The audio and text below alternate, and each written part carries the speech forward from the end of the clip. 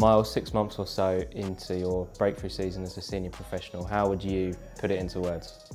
Yeah, no, it's been like a dream, obviously, like coming in straight away and then being involved, I think, in every game possible that I've been available for. And yeah, it's literally been, it's like what I do on FIFA career mode, like when I make myself a pro, it's literally like come to life. If we go back to the summer, you were sort of chucked in and I think for for fans you were maybe a bit of a surprise inclusion on the, the pre-season tour. Was it a surprise for you? Yeah, um, like when I got told, obviously, I think there was like the main squad that was chosen to go and then I think a couple of the youngsters that were training up with the, with the first team, there was like a bit of like uncertainty who was going to go. And so when I finally got told I was going, I was like, I was quite surprised, but mostly excited. And I was like thinking this is this could be my chance. Hopefully I could take it, and luckily I did. And ahead of that trip, yeah, what sort of things were you saying to yourself? Yeah, I was just, I was more like my mum, my dad, my sister all give me encouragement, like, yeah, you've got this, you've got the ability to do this. And it was just, I was just thinking to myself, this is the, like this, this is the, the chance that I've been waiting for, and I was excited to try and take it. And then fast forward to the opening day of the season away at Accrington. Sessegnon. shapes to go one way, comes back out to his left. Tees up Payne. Payne across, looking for Leaburn. Leaburn out! Oh, it's a goal! Miles Leaburn! Scores for the Addicts! And the cries of Leaburn go up! You get what we thought at the time was the winning goal with one of your first touches of the ball after coming off the bench for your senior debut. Is that a day that you still remember? Yeah, of course. I remember literally the build up to it, how many chops Sess did, and then the cross from Paney. And then yeah, when I headed it in, the celebrations, I seen all the fans like bundling over each other and then everyone bundling on me. And it was just like an amazing feeling.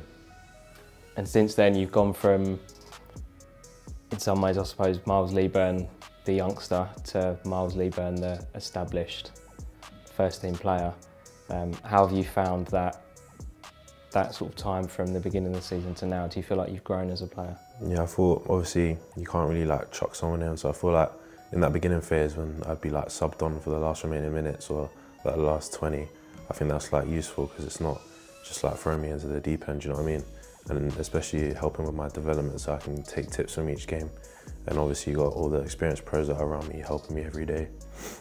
And then I think getting into it when I got my injury, I think that was when I was like showing that I can I can start. But then obviously I got that setback and then coming back and then scoring again, which I thought was like the biggest challenge for me because I was thinking, oh, what if I come back and I don't like get off to that good start that I did before? But luckily I did, and I was happy to do it. Although you've only been a first team player for a relatively short space of time, you've had a few things that you've had to deal with along the way. So the getting a goal on your debut, the injury, the headlines which have come with the goals. I mean, how important has your support network been in that time? Yeah, I think like obviously my family, the fans, everyone's been really supportive of me haven't put loads and loads of pressure on me, which is like a big, big help, especially because I'm still young. If you think about it, it's my, my first season. But yeah, I think I've dealt with it well, but they've made it easy to, easier to deal with as well.